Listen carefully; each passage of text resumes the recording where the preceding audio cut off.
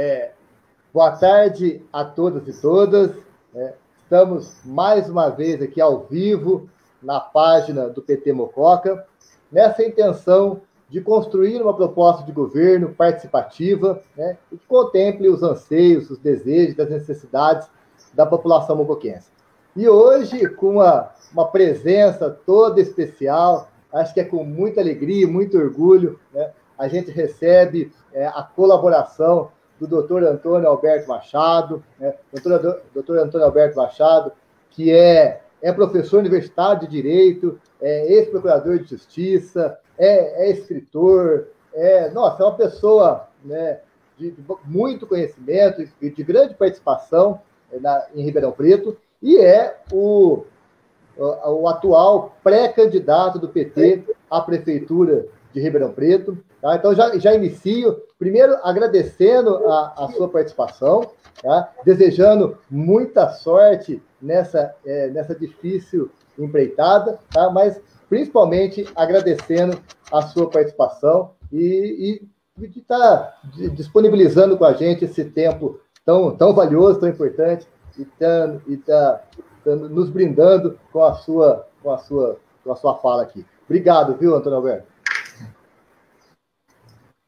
Obrigado, professor Aider, meu caro professor Didô, professor Renato, companheirada aqui da rede PT Mococa que está vendo a gente. Quero uh, agradecer imensamente esse convite que me fizeram, essa possibilidade de trocar alguma ideia, algumas ideias com vocês, né, que é importante nesse momento. Nós estabelecemos esse diálogo, né? E de modo que eu fico especialmente honrado com esse convite que me fizeram. Eu queria, assim, a título de introdução, né, apenas dizer que o Partido dos Trabalhadores está vivendo um momento especial.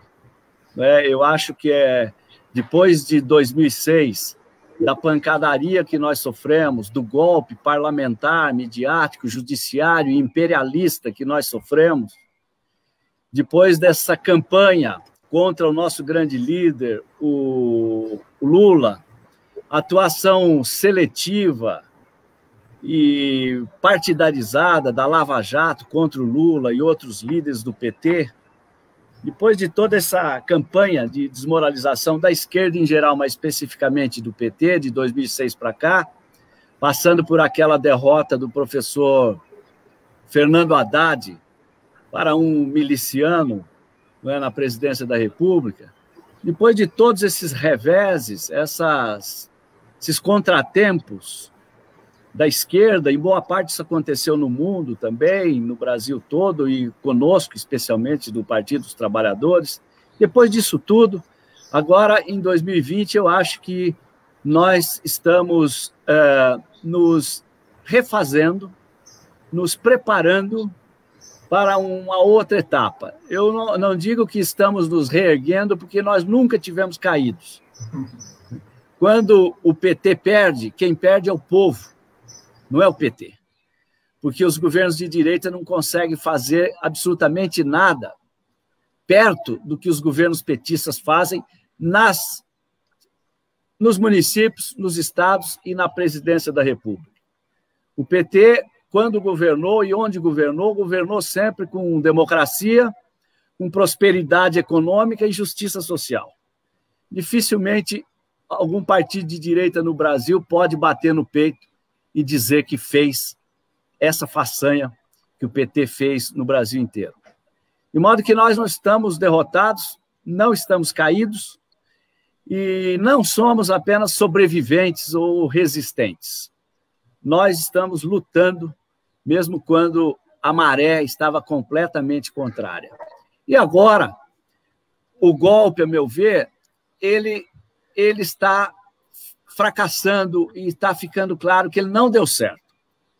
Os golpistas, muitos deles, né, desapareceram. Veja o que aconteceu com o PSDB. Com os tucanos de alta plumagem do PSDB, Aécio Neves à frente, que já no primeiro dia da, da, da da, ele, da eleição da Dilma, dizia que ia, que ia pedir recontagem de votos e que não ia deixar governar. O ex-vice-governador de São Paulo, Aloysio Nunes, usou uma frase na época que, dizendo que ia sangrar a presidenta Dilma até o fim. Onde que está o Aloysio Nunes? Está respondendo processo criminal? Onde que está o Aécio? Respondendo processo criminal. Onde está o Zé Serra? Respondendo processo criminal. Onde está o FHC? Completamente marginalizado da política e esquecido. Onde está o Sérgio, o, o Sérgio Moro? É, em vias de responder a processos é, disciplinares. Onde que está o Deltan Dallagnol? No banco do réu, respondendo o processo disciplinar. Onde é que estão as empresas golpistas? Tendo prejuízo hoje e, lamentavelmente, o povo também perdeu com tudo isso. Então, o golpe está derrotado. Né? O golpe está, foi um fracasso. Né? Veja o número de empregos que nós perdemos, a destruição das empresas de construção civil que exportavam tecnologia, de construção naval. O Brasil estava construindo avião, estava construindo submarino, fazendo Copa do Mundo, Olimpíada, respeitado no mundo inteiro. E onde que nós estamos hoje? Viramos párea. Portanto, quando o PT perde, pode ter certeza, quem perde é o povo. E agora, isso está ficando claro e nós precisamos no, reelaborar o contra-ataque do PT, a reação do PT para um novo tempo. É, é difícil, é um momento difícil ainda, mas é o momento de retomar, de recomeçar essa caminhada para botar o PT de novo no lugar de onde ele nunca deveria ter saído. Então, eu fico muito reconfortado, fortalecido quando eu encontro os companheiros de outras cidades, outras, outros municípios que também estão encarando esse desafio, que também estão percebendo este momento e tendo a coragem de disputar novamente, de levantar a voz, de ocupar o lugar que é e deveria ser do Partido dos Trabalhadores. Então, neste momento, acho que nós temos de apresentar um projeto popular, democrático para a população e, como disse o Genuíno, conquistar mentes e corações e, digo eu, votos também.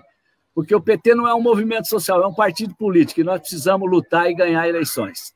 Vamos ter, eu creio, muitas vitórias políticas e também muitas vitórias eleitorais. Então, eu queria dizer aos companheiros que eu estou animado e fico cada vez mais animado quando eu encontro companheiros que também olham para esse mesmo horizonte. Obrigado, viu, Antônio Alberto, por essa, essa mensagem de, de ânimo. E acho que o mais importante é isso que o senhor disse, que quem perde, né, quem perdeu prioritariamente foi o povo brasileiro. Acho que isso, e é isso que nos motiva nessa luta, né? Acho que esse é o nosso maior incentivo, a gente percebeu que a vida do povo brasileiro era muito melhor nos governos de Lula e Dilma. Eu acho que esse é o nosso, o nosso maior objetivo. Né?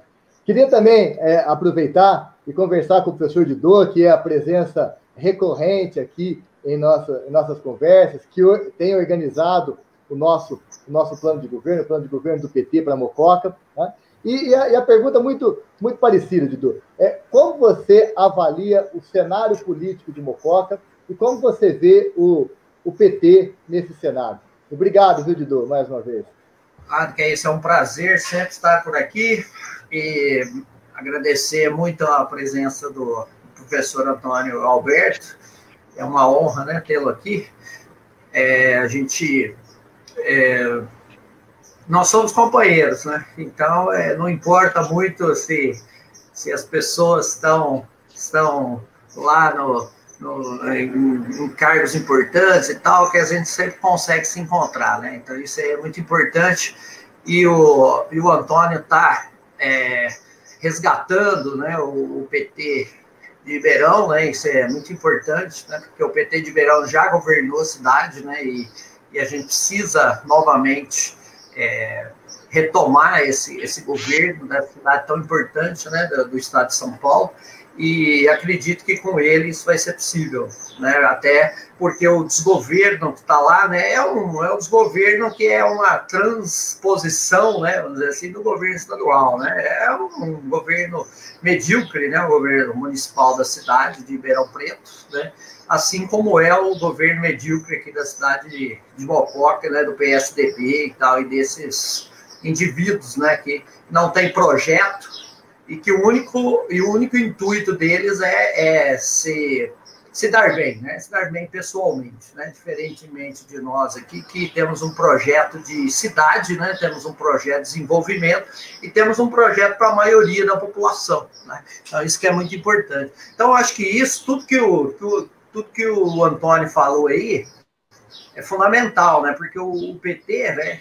ele tem um projeto um projeto efetivamente de nação, né, tem um projeto para o país. E a população, depois de todas essas tragédias de 2016 para cá, ela começa a perceber isso, né? ela começa a perceber que é lógico, né? não dá para você construir né, um país em 13 anos de governo. Né? Depois de 500 anos de destruição, né, nós temos que começar e não é em 13 anos que você vai, vai colocar esse projeto em ação. Né? Vai, vai, vai, você vai começar a delinear o projeto e a, e a população vai perceber a melhora, né? Como se falou nas questões internacionais, né, onde o Brasil era reconhecido, né, como um país em franco desenvolvimento, melhoria das condições de trabalho, melhoria das condições de vida material da população, vida cultural, né, vida escolar.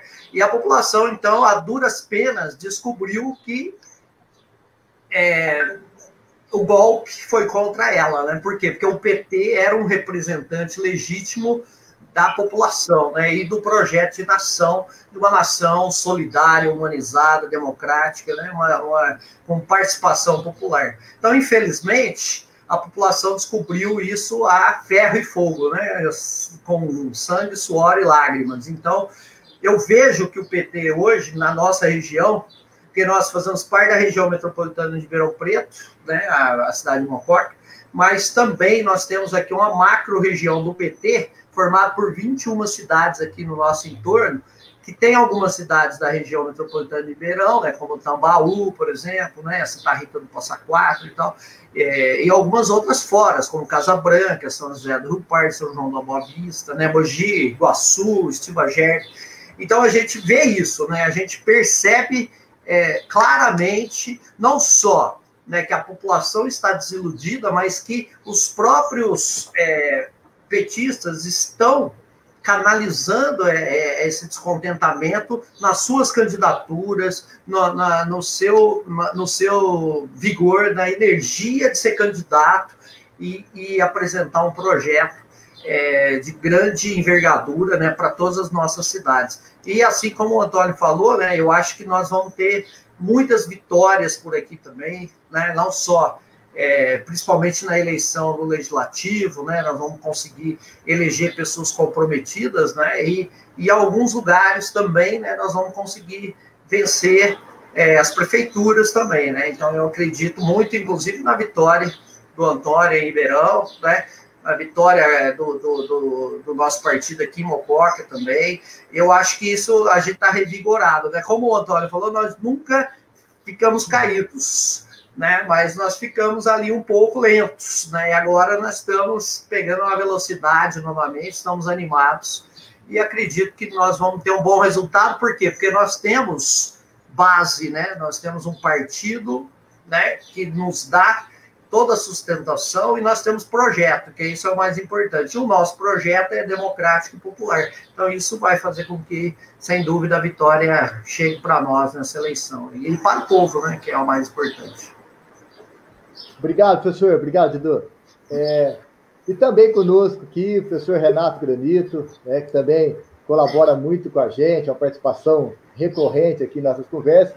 E, e a pergunta, Renato, gostaria de saber é o que, que a gente pode esperar do PT de Mococa nessas eleições, indo nessa mesma linha aqui. E obrigado, viu, Renato?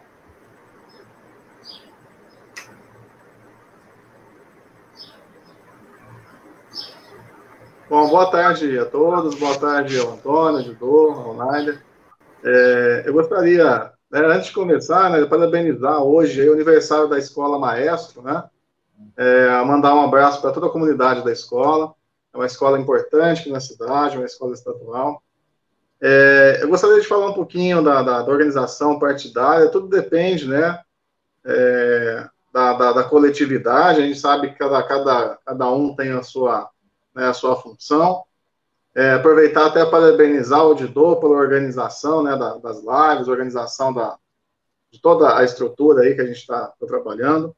E até comentar com, com o Antônio, né, o PT este ano está com uma perspectiva né, bacana da gente ter candidato majoritário, candidato né, a, a, chapa de vereadores, né, que está em torno de entre 12 a 13 candidatos a vereadores, pode aumentar, né, e a gente sair, né, daquela, daquela questão de 2016, né, que a gente foi, levou esse golpe, como o Antônio acabou de nos lembrar aqui, onde a gente ficou um tanto quanto, né, é, os diretórios ficaram né, abalados na situação, muitas, muitos candidatos não saíram neste ano de 2016 para esse pacto que nós levamos, né, e falar que agora a gente, não é que a gente está ressurgindo, a gente reorganizou, a gente está conseguindo fazer essa, essa união é, para a gente conseguir chegar, né, é, a levar uma discussão né, na, na, na, nos debates, uma discussão nos municípios é, de mais qualidade, a gente não está tendo uma discussão de qualidade em algumas cidades, as cidades onde a direita é, predomina,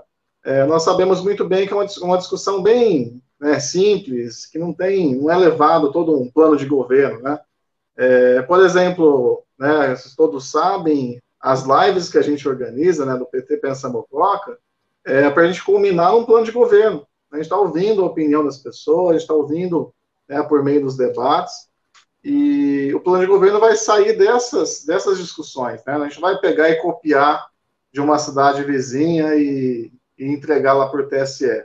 Então, essa é uma questão importante que os partidos da esquerda né, conseguem né, pensar e organizar dessa forma. É, eu gostaria até de ouvir né, um pouquinho depois do Antônio a conjuntura, como é que vai estar é, as eleições aí em Ribeirão Preto. Nós somos uma cidade vizinha, muito próxima, a gente faz parte da região metropolitana. E qual que é a perspectiva para o PT de Ribeirão? É, como é que a gente vai estar nessa, nessa situação aí? Um, um abraço a todo mundo aí. Eu só queria, viu, Renato, antes, né, é, registrar a, as, as perguntas, as participações. Né? A gente está ah, com o, jo, o Giovanni, o Augusto, a Helena Galvani, o Gustavo Modesto, o Carlos Maneta, né? O deputado estadual Luiz Fernando Teixeira também está nos, nos, assistindo, nos acompanhando e mandando pergunta. Então, eu queria, é, a, se você me permite, acrescentar é, essa sua pergunta, né?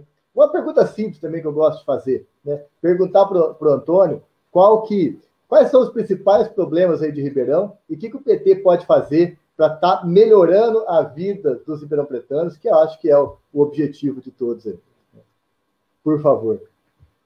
Bom, uh, isso que perguntou o Renato, o, o cenário eleitoral, político eleitoral em Ribeirão, como todos podem imaginar, ele, ele não é um cenário fácil. Tá? Nós é, governamos duas vezes Ribeirão Preto e os dois governos do PT foram bem sucedidos. Tem um legado muito bom aqui na cidade. Né? Só que é, a direita tomou o poder aqui há alguns anos. Né? O PT teve duas tentativas para voltar ao poder e perdeu nas duas.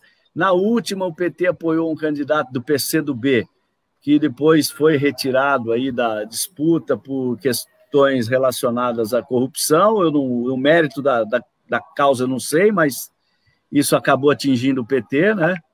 Em 2016, portanto, foi desastroso. Depois veio a eleição presidencial, o Bolsonaro teve 74% dos votos aqui, mas o, o Haddad, até surpreendentemente, ele teve 82 mil votos aqui, quase 83 mil votos.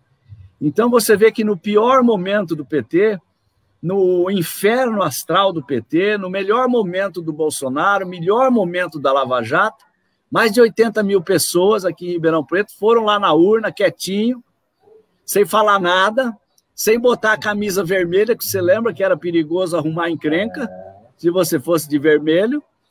E mesmo assim, com toda essa situação adversa, foi lá e digitou 13.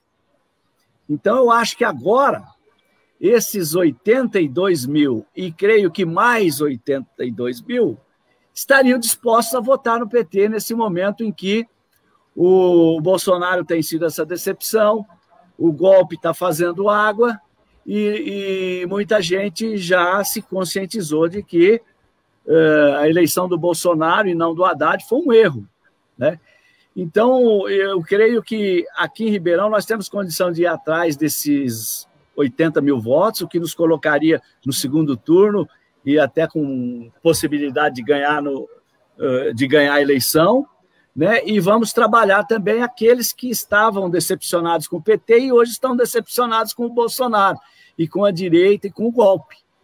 Então, quer dizer, tem um campo para trabalhar. O que a gente lamenta muito é a pandemia, que está impedindo o corpo a corpo, né? o olho no olho, a, o cumprimento de mão, a conversa. E eu, pessoalmente, eu gosto muito disso. Eu lamento que isso essa pandemia tenha acontecido e tirado a gente do campo de jogo assim.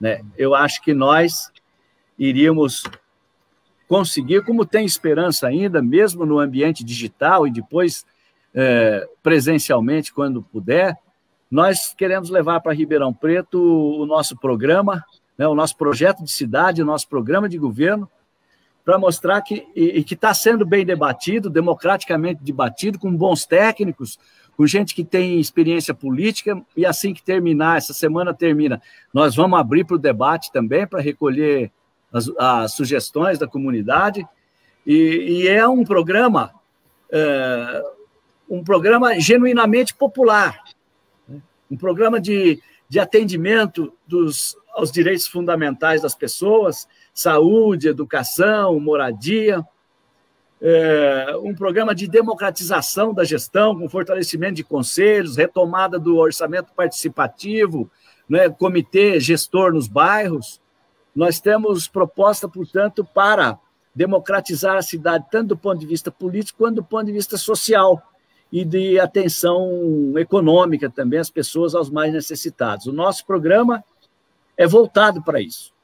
Né? Em Ribeirão, o, Naider, respondendo a sua pergunta, nós temos alguns problemas específicos. Como você sabe, a gente tem aqui perto de 100 núcleos de favela.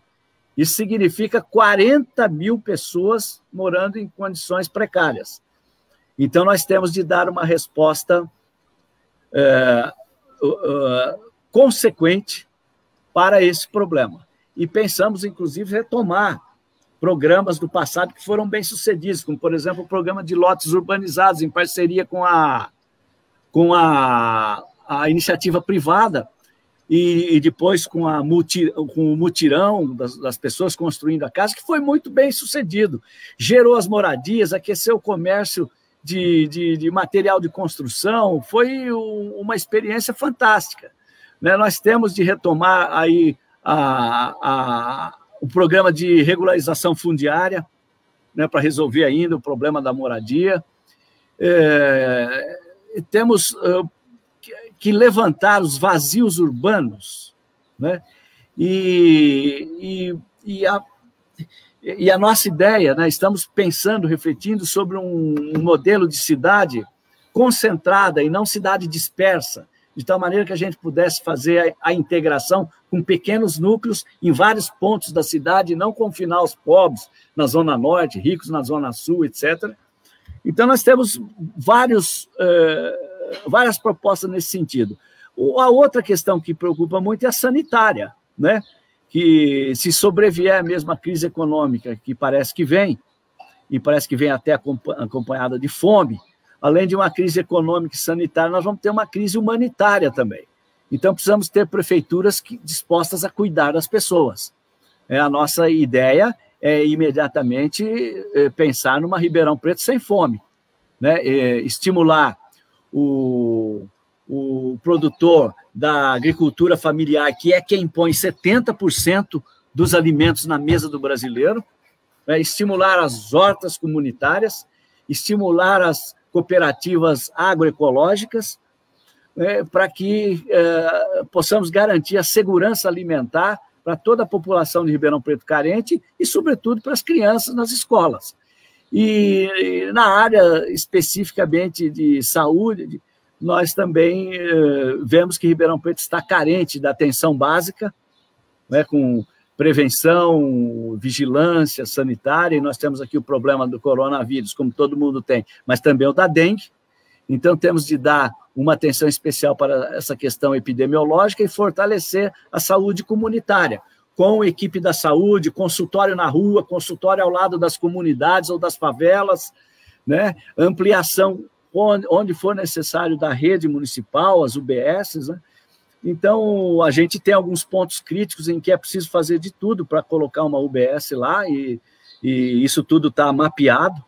Né? Então, a nossa preocupação maior, Onaider, eh, os nossos problemas maiores nesse momento, eu acho que passam por aí, a questão da moradia aqui em Ribeirão Preto, a questão da, da saúde, né, do, é, é, da segurança alimentar e também, né, teremos problema na área da educação, né, com essa pandemia, as, os alunos das escolas públicas estão literalmente parados enquanto os das escolas privadas estão tendo atividade que pode aumentar ainda mais o fosso da desigualdade. Então, essas são as coisas que estão no nosso radar aí, que eu acho que o próximo prefeito vai ter que, que é, dispensar uma atenção especial para isso. Obrigado, Antônio. E certamente o próximo prefeito de Ribeirão terá dificuldades, né, até pela, pela crise econômica, né, pela, pela questão sanitária, como o senhor disse, né? E, e, é interessante que, claro, é, afora a, o tamanho das cidades, que são bem diferentes, mas em Mococa a gente tem muito problema de regularização fundiária, de loteamentos clandestinos, né, loteamentos irregulares, é, e a gente percebe que, claro, respeitando o, o, principalmente o tamanho das cidades, mas muitos problemas de, de Ribeirão acabam né, sendo próximos do, do, do Mococa, porque a gente está no, como o Didô diz, está na mesma, na mesma região metropolitana, então é, Ribeirão é, sem dúvida, uma referência para Mococa, na questão do comércio, na questão do entretenimento, em vários, vários aspectos, né? Ribeirão é, é, é muito próximo de Mococa e é uma grande referência para a gente, é uma, tem uma, uma, uma, importância econômica muito grande. Então, eu queria aproveitar, Didu, que falasse um pouco dessa, dessa região metropolitana de Ribeirão Preto, de qual Mococa faz parte por favor. É, é exatamente. É muito, muito pertinente a fala do Antônio, que eu acho que é, é fundamental, né? Você precisa de um. Vamos precisar ainda mais de um gestor público, né, do, do ano que vem, né, pra, nessas eleições agora, pra, é, que vai, vai cuidar das pessoas, né, é isso que é fundamental, porque porque a população mais carente, né, ela fica abandonada, né, nesses momentos de crise econômica, crise social, fome, né, e aí e, a questão é, ficando pior ainda com uma pandemia, né, e com uma e até com uma, as endemias, que aqui no caso de Volcoque também nós temos o problema da dengue, né, que, que também agora que vai começar né, agora setembro e tal, começa a chover e tal, e a, a questão fica pior, né? Então, é, realmente a gente tem que ter um gestor que se preocupe com, com as pessoas, né? Então, essa que é, é a ideia fundamental, né, que, que a gente precisa ter.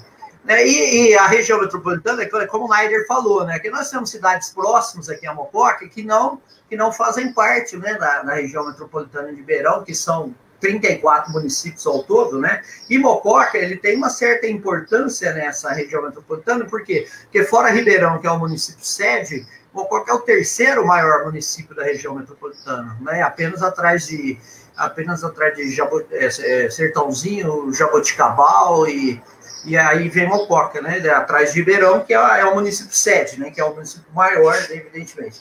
Então você tem Sertãozinho, Jabuticabal, né? É, mandar um abraço lá pro Bacarim, lá que vai ser candidato lá novamente, né? Tô vendo umas lives dele muito, muito legais também. Então, é, Ribeirão tem uma ligação muito próxima, né? É, é, Mococa tem uma ligação muito próxima com Ribeirão, né?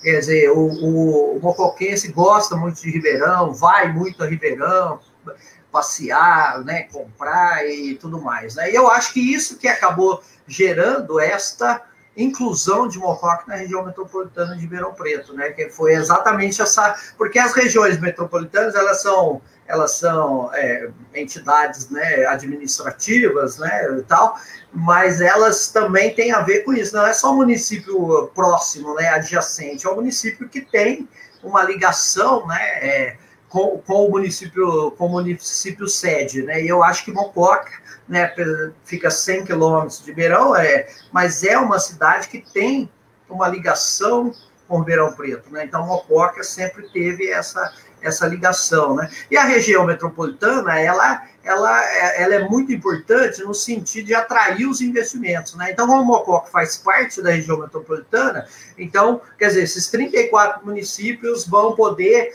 é, atuar conjuntamente para melhorar as estradas que ligam uns aos outros, né?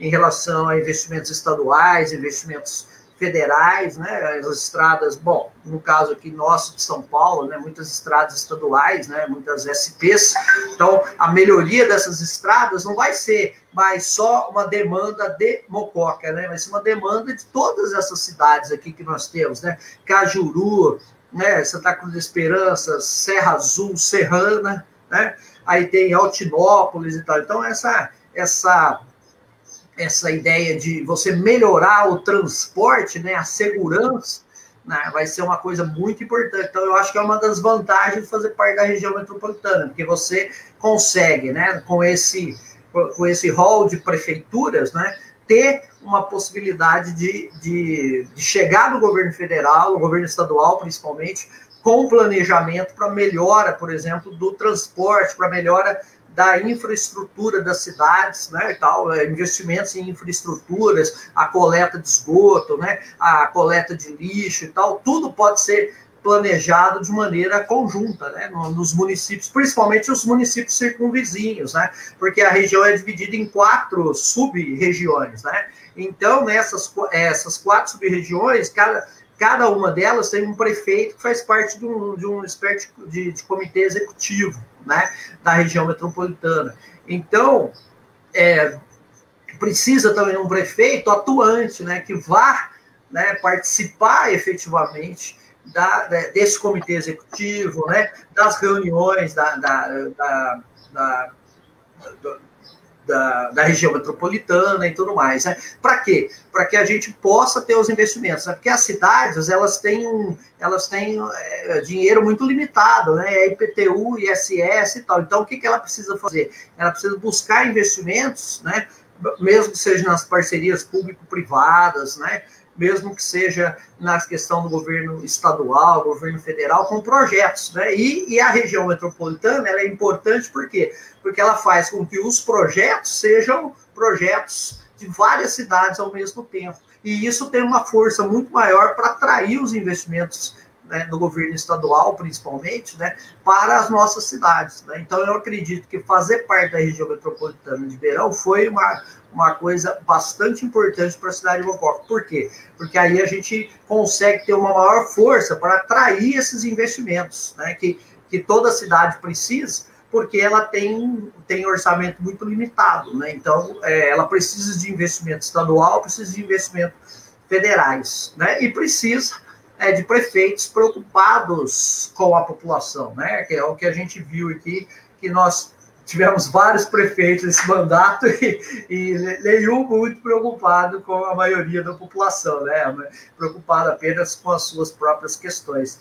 Então, eu acho que é, é um organismo administrativo, né? É um organismo é, de força política, né? A região metropolitana né? Ela, ela perdeu um pouco, né, eu acho, Antônio, porque um cara que lutou muito para isso foi o, o ex-vereador lá, o Maurílio, né? O Maurílio que, que entrou no rolo todo lá, né, da atmosfera, do Marcelo Plastillo e tal, né? E acabou até saindo da prefeitura, saindo do, da, da Câmara dos Vereadores, né? Com, com processos e tal, né? Porque estava lá no, no rolo lá dos 200 e 200 e tantos milhões de desvio, né? De, de... E o Maurílio Romano acabou sendo um entusiasta né, da, da região metropolitana e depois ele entrou nessa, nessa questão aí da, da, vamos dizer, de um, de um, certo ostracismo político, né, porque ele foi pego lá na corrupção, mas é fundamental. E o que, que precisa? Né? Precisa dos, dos prefeitos atuantes, né? prefeitos atuantes na região metropolitana para que a gente atraia esses investimentos, né, principalmente na área de infraestrutura e nessa questão econômica, né, de uma ligação maior entre as nossas cidades, né, para fomentar a economia local, né, isso é fundamental, né, ao meu ver. Ô Renato, né, antes da, da sua opinião, se me permite mais uma vez interrompê-lo, né, é, só queria registrar a participação da Dora Bozini, tá? E, e, duas mensagens especiais, né? Primeiro, do deputado Luiz Fernando, desejando uma é, boa sorte para todos nós, mandando um abraço caloroso para o Antônio, tá? E eu tenho um comentário aqui da, da Núbia Ventura, eu não a conheço, né, mas tenho a certeza que teve uma excelente formação, né, porque ela disse que foi aluna do professor Machado e do professor Didô. Né? Certamente é uma pessoa que tem uma formação sólida, né? Isso a gente não pode sem conhecer, eu já, tenho, já afirmo com certeza aí. Tá? Mas eu queria é, ver. É a Núbia, né? A Núbia, que era é, filha do, do, do juiz, né? do ex-juiz, é, do ex-juiz é. que faleceu, né? O, o, o Ventura. Né? Então, ela, ela, foi minha aluna antes, e aí, devido à grande aula, aulas de história que eu dava, ela conseguiu entrar na Unesp de Franca e foi ter aula com o Antônio. É, o que. É, é. Renato, eu queria saber a sua opinião a respeito de, desse mesmo sentido. É, quais as vantagens que a região metropolitana pode trazer para o município de Mococa e para os mocoquenses? Por favor. Assim, a, a, a maioria da, do, dos municípios não, não, não conhece a importância né, de fazer parte da, dessa região metropolitana e acaba até desconhecendo que tem um conselho né, de desenvolvimento, na qual eles têm a, ações conjuntas, por exemplo, em transporte, uso de solo, habitação, né, é, saneamento, meio ambiente, desenvolvimento econômico, esporte, lazer, tem fundo próprio para isso, né, e são, são reunidos em audiências públicas, este conselho, que é o Conselho de Desenvolvimento, e tem até recursos de fundo né, desse desenvolvimento. É, o que resta é saber que todos os municípios estão né, se reunindo. Né, quem que né, atualmente é o presidente desse, desse, desse conselho, é dividido por prefeitos. Né? É, é bom lembrar que a região metropolitana é dividida em sub, né, subgrupos. Né? É, so, esses subgrupos têm um, a, a sua, suas, suas cidades. Né?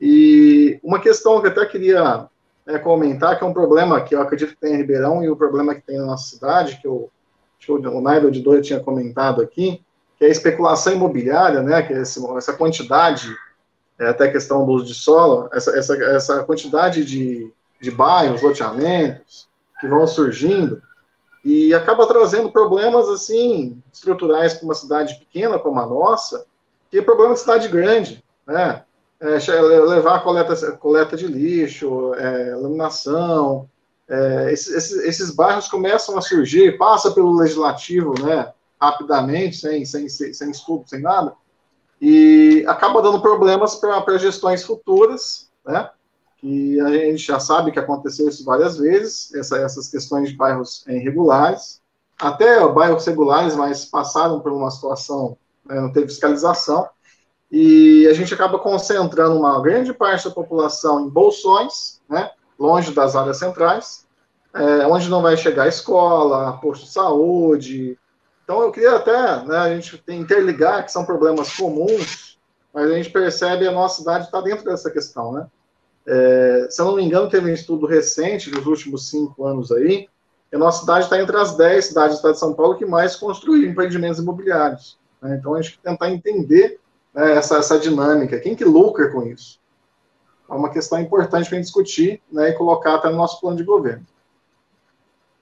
É, muito, muito importante, porque, é, como o Antônio citou, você tem, às vezes, os vazios né, urbanos é, para valorização de terrenos e o descumprimento total do Estatuto da Cidade 2001, né? e, e, o próprio plano diretor, né, específico também da cidade, né, então é, é, tem que ser uma coisa investigada mesmo, né, isso aí que você falou, né, o próximo prefeito teria que fazer isso. Né. O, o, Didu, registrando as participações da Joana Cardoso, que também sempre nos assiste, e também o contrário, a gente sempre também aprende muito com ela, tá? E o, o Marcão tem lembrado que a questão da, da, da uma, maior, uma melhor implantação da região metropolitana pode é, influenciar positivamente na questão do transporte é, metropolitano. Isso é uma boa observação Exatamente. também. E, e eu queria também, se possível, né, ouvir do Antônio, principalmente como o Renato falou também, além da questão da, da, da urbanização, a, as questões ambientais, que acabam interferindo muito na região, é, como está a questão ambiental em Ribeirão Preto, os problemas ambientais em Ribeirão Preto, é, como é que essa, essa questão pode ser levada em conta, por favor? Olha, o, bom, antes eu queria mandar um abraço para a Núbia, foi minha aluna na Unesp, né? Brilhante aluna. Hoje, salvo engano, ela está na USP. Às vezes a gente fala aí é, pelas redes sociais. Queria mandar um abraço para ela e dizer que o Didô preparou bem a aluna lá para a Unesp, viu, Didô? É, bom, essa questão é, metropolitana que vocês estão mencionando, já o que vocês disseram é, é isso daí. Você tem. Uh, uh, esse é um mecanismo que dá muita força política para os municípios, né, porque é, catalisa não só a força política, etc., mas também os projetos, a energia, o, as iniciativas, etc. E isso, é, de fato, acaba é, tendo um, um, um peso muito importante né, em questões como vocês já mencionaram, a possibilidade de fazer uh, relacionados ao transporte público, né, intermunicipal, relacionados a, até a possibilidade de fazer consórcios no, no âmbito cultural, né, no, no, âmbito da proteção ambiental. Eh, e agora, né, com, esse, com esse marco do saneamento básico, que possibilita a, a, privatização de empresas públicas, né, é, fornecedoras de água potável, né, e coletoras também de esgoto, quer dizer, isso que chamam aí de a privatização da água. Né? Agora, com essa ameaça, que eu considero uma ameaça, eu acho que a água é um bem essencial à vida, é um bem público essencial, e ficar entregue à iniciativa privada é um problema, isso possibilita também fazer um consórcio entre os municípios, né, e que as empresas, aquela que tiver a melhor condição, né, e a empresa pública fornecedora de água e tal, poderia, é, em consórcio com os municípios, fazer esse trabalho em diversos municípios, não só, por exemplo, em Ribeirão, ou só em Mococa, né, mas é, de maneira consorciada, garantir que a água não seja privatizada e que ela seja, portanto, fornecida pelo município. E nesse momento em que há essa ameaça, é, a, a criação da região metropolitana passa a ser mais do que um instrumento, uma arma, né, para se opor a mais essa tentativa de privatizar um recurso natural, um recurso público que, que a meu ver, é, não sei se existe essa palavra, imprivatizável, porque, uhum. de fato, você tem que ver que a água é um bem essencial e é também um bem estratégico. Né? No, no, futuro, há quem diga que ela será tão disputada quanto o petróleo. Né? Nós temos abundância de água, tem muita gente de olho na nossa água, e, portanto, é estrategicamente interessante que o poder público tenha né, a administração, a gestão desse bem essencial. E isso pode muito bem ser feito por empresa ou empresas públicas consorciadas na região metropolitana. Então, eu acho que cresce de importância esse, esse instrumento. Né? Com relação à questão ambiental, eh, também, né, Ribeirão, nós temos vários problemas, é, felizmente, a gente tem uma rede coletora de esgoto que permite, o sistema permite uma cobertura de 100%, só não é 100% por causa das comunidades ou das favelas, que são muitas em, Ribeirão Preto, também por causa dos condomínios privados, aqueles em que os, o, o, setor público não entra lá e eles têm fossa séptica. Então, você não pode dizer que Ribeirão tem 100% do esgoto uh, coletado, tratado, por causa disso, mas ele tem uma rede, né, um sistema que permite a cobertura de 100%. Né? E isto é uma coisa que nem todo município pode, pode, pode dizer, porque nós sabemos que 40% das cidades no Brasil não têm esse privilégio. Né? Então, nós temos essa, essa situação bem resolvida. O menino está impaciente aqui embaixo.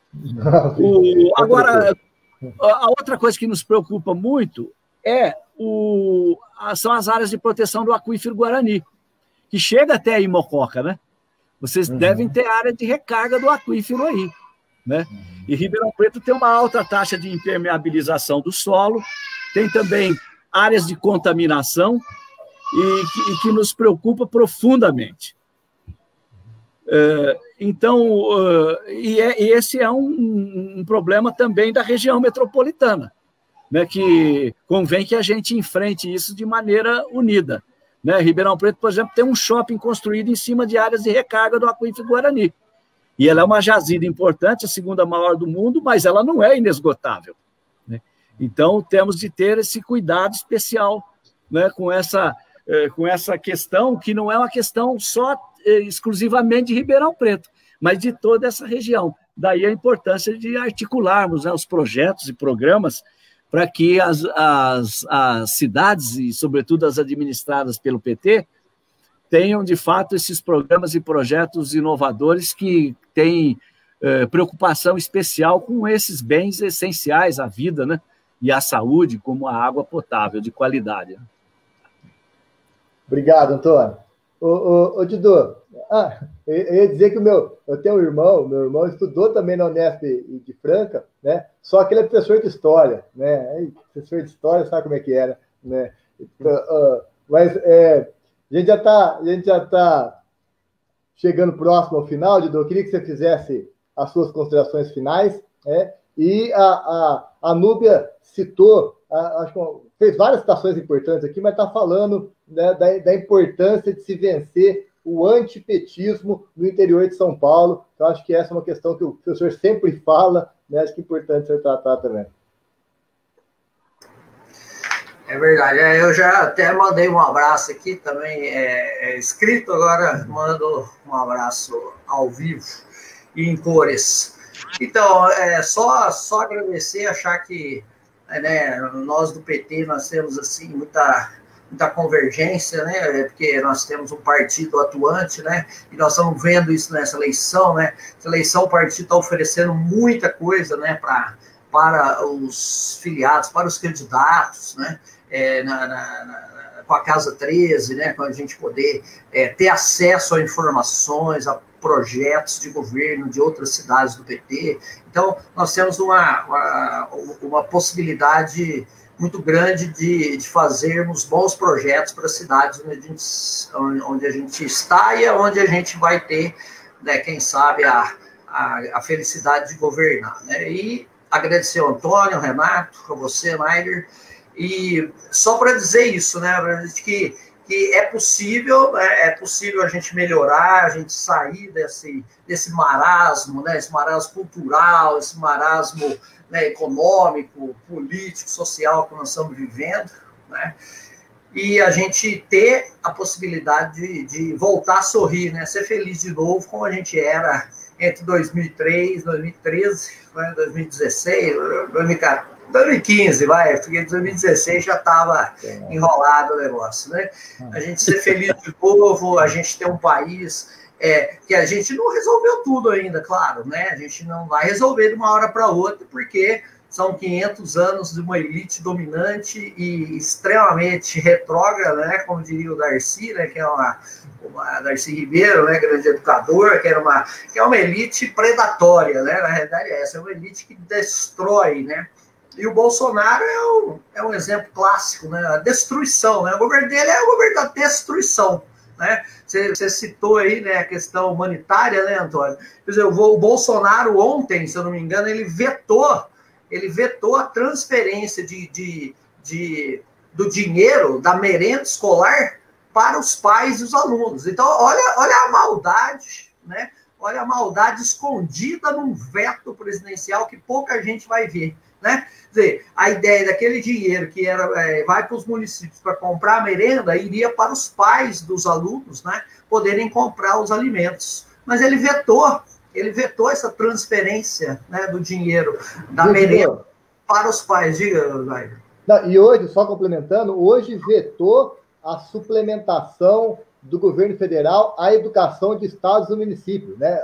Ao, contrariando até a função suplementar que a União tem com a educação. Né? Então, a, tinha um projeto aprovado no Congresso de, de auxílio do, do governo federal aos estados e municípios, ele vetou esse auxílio à educação. É, é, o doutor Antônio falou tão bem da questão de quanto que essa pandemia tem acirrado as, as diferenças, as desigualdades sociais, inclusive pela educação, né? E é claro que sem a ajuda do governo federal, essa essa, essa desigualdade na educação só aumenta. Né? Desculpa interromper, Lido. Não, sem dúvida, é, é perfeito, que tem que complementar mesmo. Então, quer dizer, é uma maldade sem tamanho, né? Você é uma maldade né, contra o ser humano, porque muitas vezes o, os pais dependeriam desse dinheiro que viria né, da merenda escolar para comprar os alimentos para os filhos. Né? Então, os filhos já não estão indo à escola, obviamente, né? E, tal, e, não, e, e temos que lutar para que não voltem, né? Mas aí temos que ter essa, essa compensação, né, ou essa reorganização, onde o dinheiro que ia para a merenda vá para os pais dos alunos. Né? Então, é uma coisa óbvia que ele vetou, assim como você falou né, da questão do, do veto, e, e, algo importantíssimo, né, que a gente precisaria ter uma ação. Se fosse um governo que se preocupasse com a igualdade, com, a, com, com as pessoas, ela investiria muito exatamente na, no auxílio a, a, a, aos alunos mais pobres, no acesso remoto às aulas, né? A internet, banda larga e tudo mais. Mas não, pelo contrário, começa a se reduzir tudo e se destruir o que de bom foi feito nos governos do PT. Né? Então, quer dizer, o, o, o governo atual se baseia no PT, né? Quer dizer, o que o PT fez de bom, ele vai lá e começa a destruir, né? Então, é, é muito complicado. Faz né? mas aí a gente está animado aí para essa eleição, para a gente começar, né, porque nos municípios é que começa a eleição é, de 2022, né, porque quanto mais municípios o PT governar, quanto mais municípios tivermos vereadores atuantes, mais vai ser importante é, a, é a ação, a nossa ação é, na, na, nas eleições de 2022 para deputados estaduais, para governadores, deputados federais, senadores e o, e o presidente da República. Né? Então, acho que a gente está é, tá confiante que com o nosso projeto, né, um projeto democrático, popular, humanista, solidário, a gente vai conseguir bons resultados nessa eleição. Agradecer a todos aí, Renato Naider, principalmente ao Antônio, pela, pela participação brilhante e boa sorte. Né? Estaremos aí te ajudando, hein? Estaremos aí te ajudando. Obrigado, professor. Obrigado, Edu. É, e aí, Renato, alguma coisa para complementar? Algo gostaria de falar? Algum recado, algum aviso?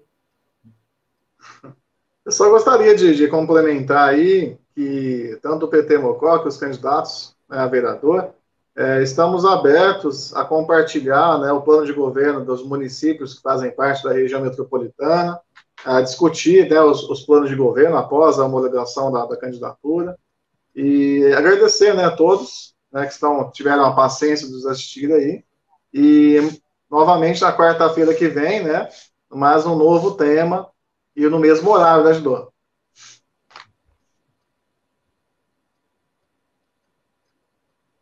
Antes que o Mário me lembrou que deixou abrir o microfone é, às 17h30 semana que vem. Hoje nós mudamos por causa do Antônio. e para encerrar, Antônio, mais uma vez, muito obrigado por compartilhar com a gente essa conversa. Muito obrigado por discutir esses assuntos tão relevantes para Ribeirão, para Mococa, para toda a nossa região.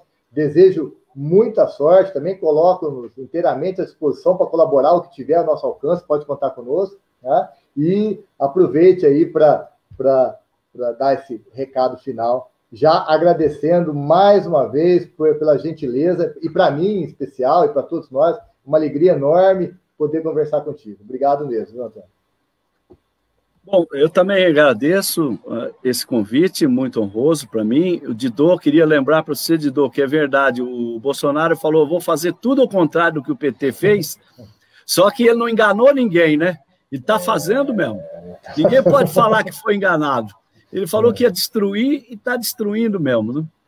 Bom, eu queria finalmente dizer aí, a nossa querida Núbia está dizendo como é que vai enfrentar esse antipetismo e tal, que de fato existe, né? O Lula, por exemplo, não gosta que fala isso, que, que tem antipetismo, mas tem, né? Não adianta. E ele não é novo, né?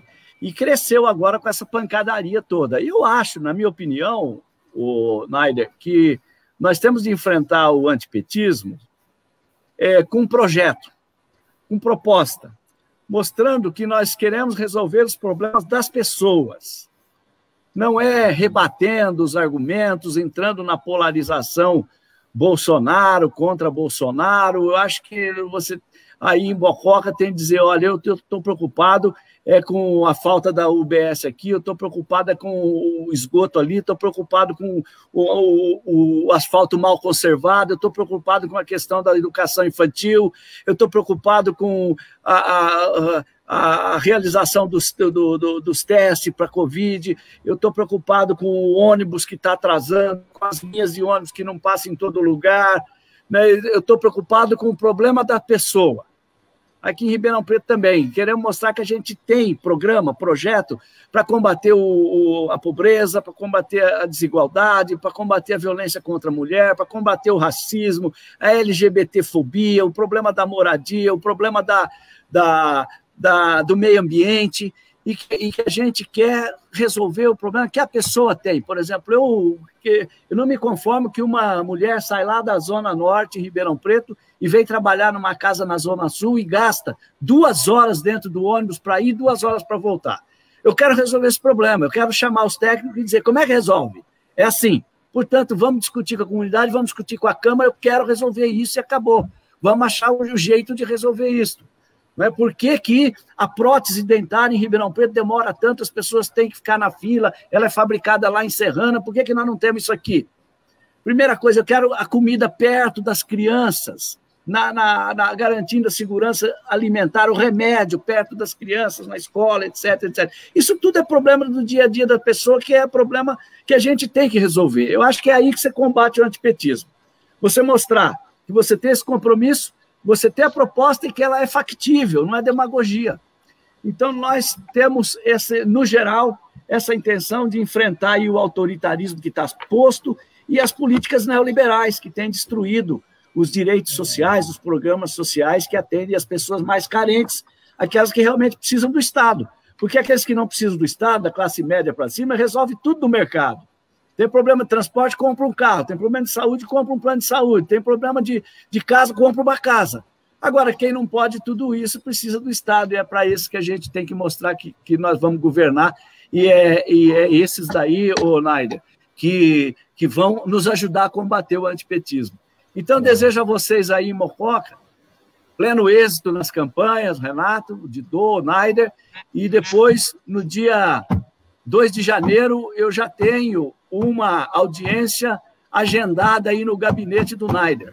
É. E também e também na Câmara Municipal. Já está já tá definido o nome em prévias aí? Como é que foi a escolha? Ah, é, ainda estamos, né, não estamos definidos ainda, mas estamos caminhando para isso, viu, Antônio?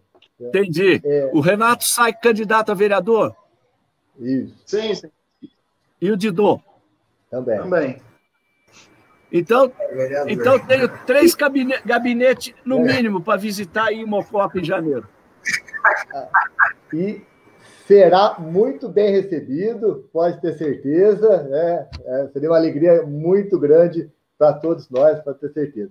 É, só queria, para encerrar, viu, Antônio, é, a gente é, tem, tem como, como pilares principais, como eixos principais do nosso plano de governo, né? e vai muito ao encontro do que o senhor disse, acho que isso até, né? que é a questão da transparência e da participação popular, a questão da melhoria dos serviços públicos, acho que isso é, é, é fundamental, porque isso aqui, na verdade, melhora a vida das pessoas.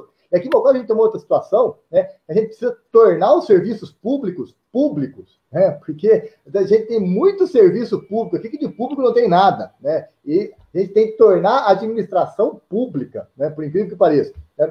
E a gente também tem como princípio básico a inclusão social de todos e todas, é, indiscriminadamente, né? e a busca por justiça social, que eu acho que é o, é o desejo maior de todos nós. Então, eu queria, para encerrar, agradecer a todas e todos que nos assistiram, a todos e todos que colaboraram mais uma vez com essa, com essa nossa conversa, tá? e que na, na próxima quarta-feira estaremos juntos mais uma vez como o doutor Antônio disse muito bem, né, com propostas para melhorar a vida do povo mocoquense, que é o nosso desejo. Muito obrigado, gente. Valeu. Foi muito bom, né, editor? Valeu. Obrigado, Antônio. Obrigado, Renato. Valeu. Foi ótimo, gente. Valeu. Obrigado mesmo.